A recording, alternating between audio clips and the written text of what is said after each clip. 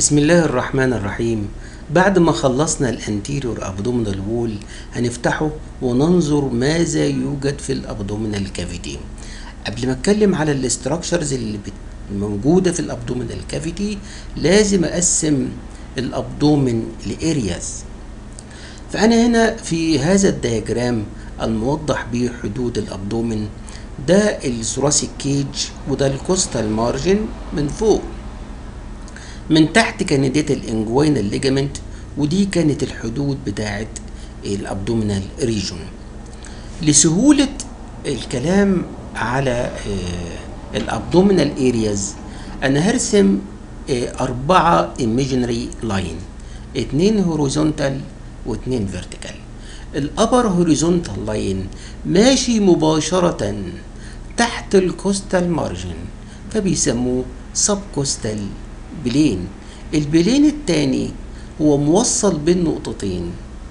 كل نقطة هي ال anterior superior iliac spine فعلى هذا الأساس سميناه intertubercular نسبة لل anterior superior iliac spine ثم اتنين imaginary vertical planes كل واحد فيهم أنا عندي واحد right vertical والتاني left vertical كل vertical plane بادي من فوق من عند ال midclavicular point ونازل تحت لحد ال mid inguinal point. على هذا الأساس تم تقسيم ال abdomen إلى تسعة areas ال area الأولى تقع مباشرة تحت ال ribs فعشان كده بيسموها hypochondrial area واحدة على ال right side فتبقى يسموها right hypochondrial area المنطقة اللي تقع deep إلى ال ribs على ال right side محدودة من أسفل بال subcostal plane وال left side مح- مح- محدودة بال right vertical plane. المنطقة الثانية بيسموها epigastric area. تقع بين between the two vertical planes ومباشرة فوق ال subcostal plane. المنطقة الثالثة بيسموها left hypochondrial area تقع على ال left side of the left vertical plane مباشرة فوق ال subcostal plane و deep لل ribs المنطقة الرابعة اسمها right lumbar region ديت ال right lumbar region تقع على ال right side of the right vertical plane محدودة فوق بال subcostal وتحت بال intertubercular planes في النص منطقة ال umbilical area ال umbilical area حدودها من أعلى بال subcostal plane ومن أسفل بال intertubercular plane. أما ال sides بتاعتها فكان ال right side هو ال right vertical plane وال left side هو ال left vertical plane. منطقة السادسة اسمها left lumbar region فهي تقع على ال left side of the left vertical plane between the subcostal plane and the intertubercular plane المنطقة رقم سبعة بنسميها right iliac region أو يسموها right inguinal region. فتقع مباشرة فوق ال inguinal ligament between the uh, subcost between the intertubercular plane وال right vertical plane المنطقة اللي فوق ال symphysis pubis بيسموها hypogastric area فتقع تحت ال intertubercular plane between the two vertical planes المنطقة التاسعة والأخيرة هي ال left iliac أو left inguinal region تقع مباشرة فوق ال upper half of the uh, left inguinal ligament between the intertubercular and left vertical planes ديت التسعة areas اللي آه يعني بنقسم بيها ال abdominal areas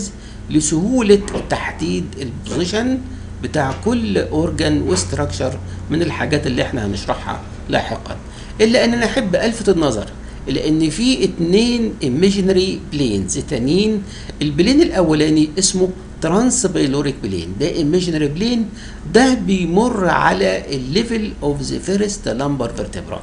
عنده حوالي تسعة structures related لهذا ال plane plane هيفيدني كتير في عملية ال surgical examination وتحديد ال surface anatomy of the abdominal areas هناك plane آخر اسمه supracristal plane واضح من اسمه انه plane بيوصل between the highest point on iliac crest على ال both sides of the hip bone هذا ال supracristal plane مهم جدا في حالات ال surgical anatomy في تحديد ال level of the lumbar vertebrae وكمان بيفيدني في آه عملية ال local anesthesia across the lumbar vertebrae دي كانت ال areas بتاعه ال abdomen هنفتح دلوقتي ال abdominal wall اللي إحنا اتكلمنا عليه وننظر ماذا يوجد بالداخل. بصفة عامة أنا عاوز أتكلم على ترتيب ال structures ترتيب ال abdominal organs بداخل ال abdomen في نظرة سريعة هتجد إن ال liver وهو أكبر gland في الجسم بيشغل ال upper part of the abdominal cavity وشوية ال bulk الكبير بتاعه يعني يعني متحرك ناحية ال right side طيب بالنسبة لل colon ال colon اللي هو ال large intestine ملاحظ إن هو بيبتدي من عند ال left inguinal أو left lumbar region وماشي طالع على ال right side of the abdominal cavity ثم من تحت ال liver هيتجه ناحية ال left side وينزل مرة أخرى يشغل ال left side of abdominal cavity ويرجع يكون structure بشكل حرف ال S ويرجع يكون أو يتواجد على ال middle line من الملاحظ من هذا ال location of the large intestine إنها واخدة ال periphery of the abdominal area واخدة اطراف ال abdominal إيه abdominal areas طيب. في ال back أنا مش قادر أقول إن ديت في ال hypochondrial لا ده ديت في ال back. من ورا هنجد ال two kidneys وال left kidney كان راكب عليها. من قدام بينها وبين ال thoracic cage كان يوجد ال spleen. بالنسبة لل stomach وال small intestine فكانت ال stomach زي ما إحنا شايفين كانت واخدة ال upper part of the abdominal area وشوية متزاحة ناحية ال left side وينزل منها بعد كده ال large ال small intestine وال small intestine زي ما إحنا شايفين كانت occupy occupies the middle أو central part of the abdominal cavity وهنا في الآخر خالص هنجد البنكرياس مستقر في الخلف ورا ال stomach ده كان ال arrangement of abdominal organs inside the abdominal cavity.